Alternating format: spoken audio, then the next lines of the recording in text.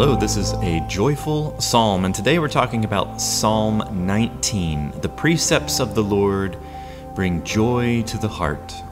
Have you ever found it awkward to see yourself in a picture, in a video, or even worse, like to hear yourself in a recording, maybe singing, maybe just speaking? Like if you set your voicemail and it's, you know, you record it and then it says, do you approve? Press 1. To re record, press 2. And you press 2 like 15 times because you can't stand how your own recording sounds. That's sort of the, the readings um, this weekend and the psalm response. Recognizing ourselves and recognizing the faults of ourselves. One thing that I find fascinating is the training of pilots. Pilots are trained to do so many things. They're trained in mathematics and physics and aerospace. And this is important because they've got to use all kinds of different instruments, daytime instruments, nighttime instruments, because they're just responsible for so many people. And one of the dangers for pilots is something called spatial disorientation. And what this is, is when you lose visibility while you're flying, you know, you sometimes don't know whether you're level or not. So if you're in a complete fog or it's pitch black out, a lot of times your brain can be fooled into thinking that you're level when really you're not. And you can try this at home. If you sit in an office chair and start spinning very smoothly around in a circle and you close your eyes, in a few seconds you might feel like you're not even moving at all, when in reality you are moving. And so this was the case, unfortunately, for um, the accidents of, let's say, John F. Kennedy Jr. He was not trained on nighttime instruments, and so he took off the plane at like dusk. It was much too late, and then it got dark, and he thought he was level when in reality he was almost completely upside down, and his plane went into the water.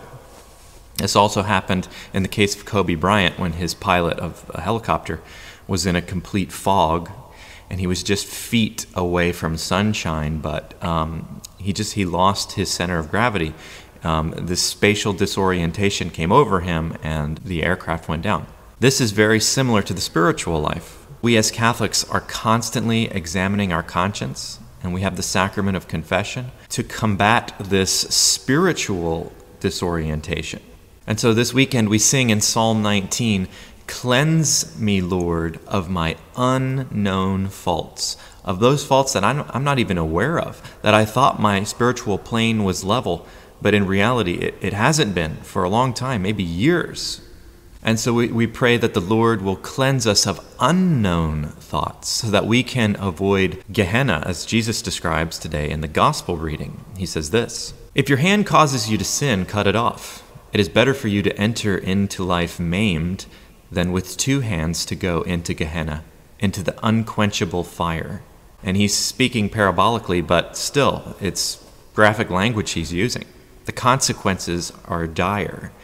And the unknown faults are the ones that sometimes we have to sift through to find. So, the church gives us a vehicle to do this in the sacraments. And we just have to stay close to Mother Church in the Holy Scriptures, in the sacraments, and in the teaching of the church. And these three things become our pathway to joy. The precepts of the Lord bring joy to the heart. This is Psalm 19.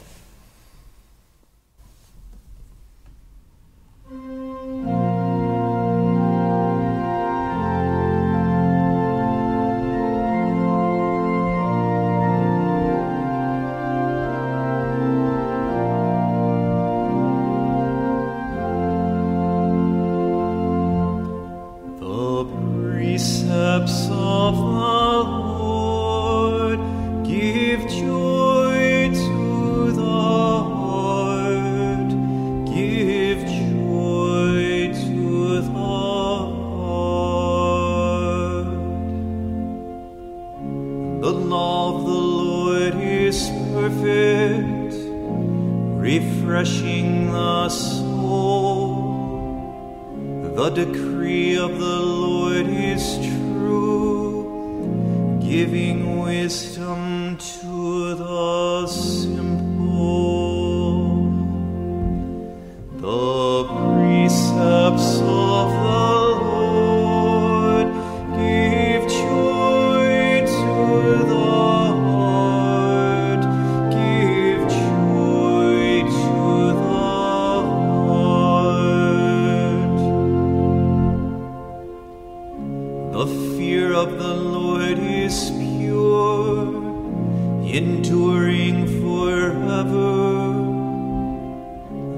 ordinances of the Lord are true, all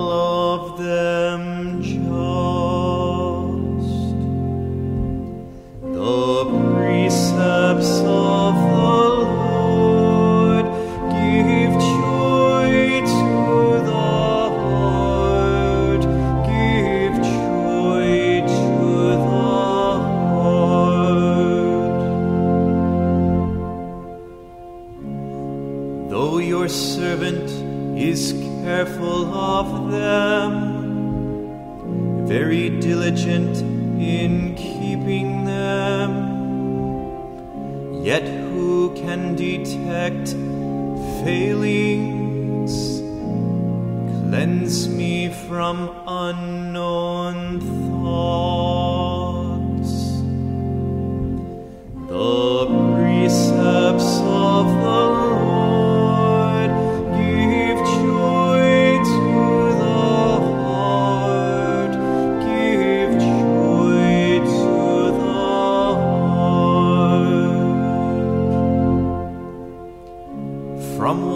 sin, restrain your servant, let it not rule over me.